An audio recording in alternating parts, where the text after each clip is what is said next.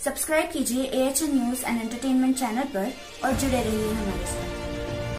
Selfie के शौक में दो लड़कियाँ नदी में फंस गई। रियासत मध्य प्रदेश के ज़िले चंदवाड़ में दो लड़कियाँ उस वक्त नदी के आयन वसत में फंस गई, जब सेल्फी लेने के दौरान नदी में अचानक पानी का बहाव तेज़ हो गया। उस वक्त के बाद दोस्तों ने फ़ौरन पुलिस को इतला दी, जिन्होंने आकर दोनों लड़कियों को बाहिफाजत नदी से निकाल लिया। Bureau report H news.